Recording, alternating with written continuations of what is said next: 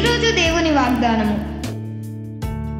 రోమియోలకు రాసిన పత్రిక పదహైదవ అధ్యాయం పదమూడవ వచనం. కాగా మీరు పరిశుద్ధాత్మ శక్తి పొంది విస్తారముగా నిరీక్షణ గల వారగుటకు నిరీక్షణ కర్తయగు దేవుడు విశ్వాసము ద్వారా సమస్తానందముతోనూ సమాధానముతోనూ మిమ్మును నింపునుగాక.